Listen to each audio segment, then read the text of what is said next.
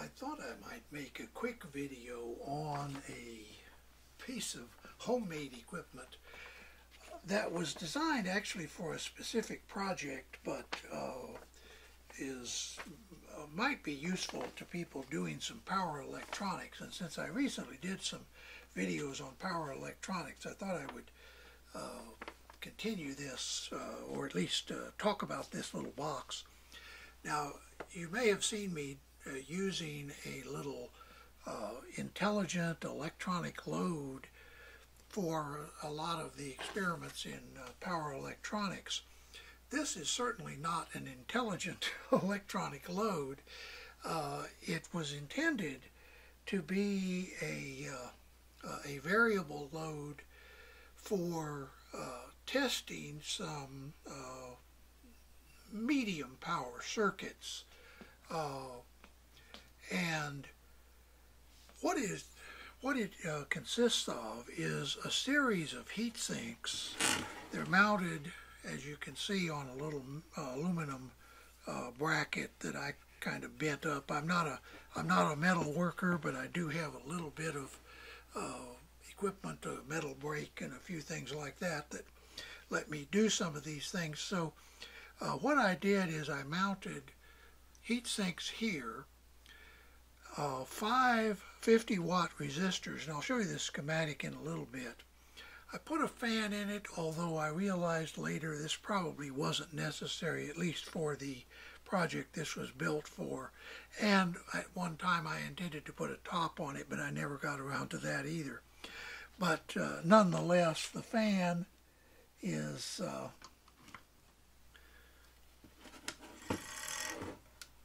you can see there running. I'll unplug it and you see it come to a stop.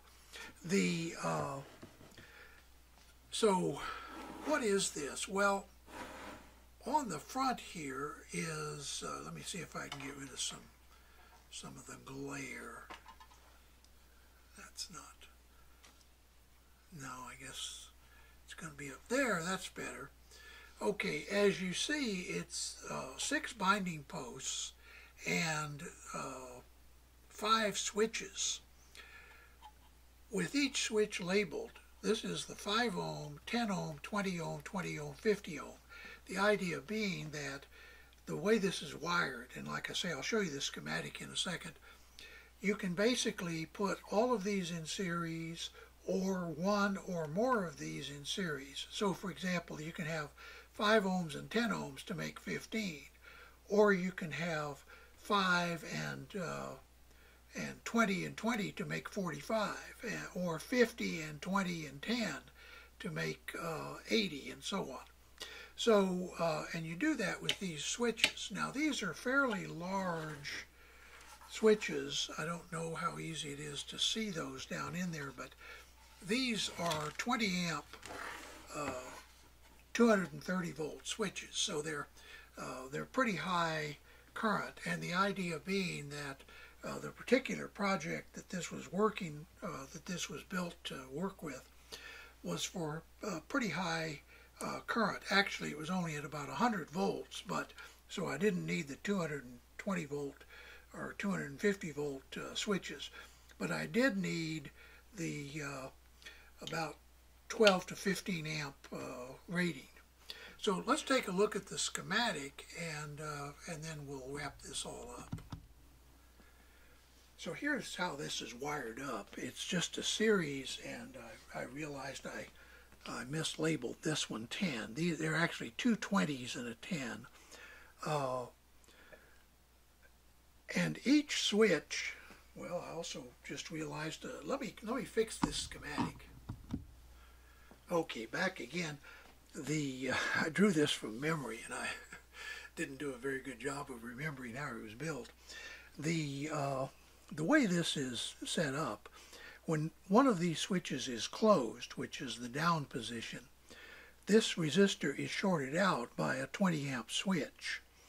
When it's open, this resistor is placed in series with whatever else is uh, on there.